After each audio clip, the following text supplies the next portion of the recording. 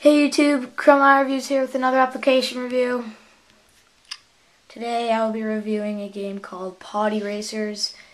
Um, apparently this won a Nickelodeon award or something for the best addicting game or whatever. I don't know. Um, um, okay, let's see here. Um, the this game it costs 99 cents. I obviously I do not think it's worth the 99 cents. I think it should be free. I beat the game in literally 10 minutes. It's really not that fun. Um, I do like the music, however. I like the music. Which pretty much do. It's pretty much the same thing as a lot of games, like Shopping Cart Hero. You then get in the potty.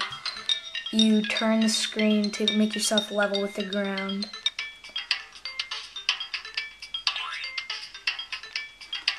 Oh, I forgot to use the rocket. See, I failed. Okay, um...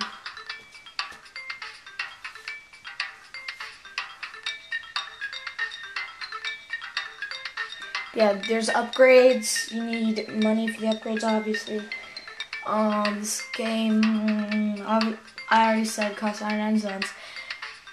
I don't think it's very worth it. Um, if you're into restarting things and doing them over and over again, I suppose it's worth it. I just do not like this game whatsoever. It's more, um, I think there is a shop or a um, Potty Racers 2 on the computer. Um, I haven't played that yet. It might be better than this. I don't know if it's on the App Store yet or not. Um, yeah, that's Potty Racers.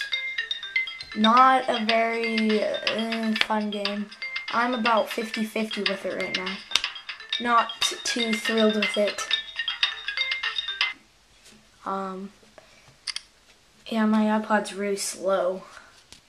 I've had this iPod for a long time, but um, yeah, Chrome iReviews here. Uh, please subscribe. Um, um, I'll be making more videos soon. So see you next time.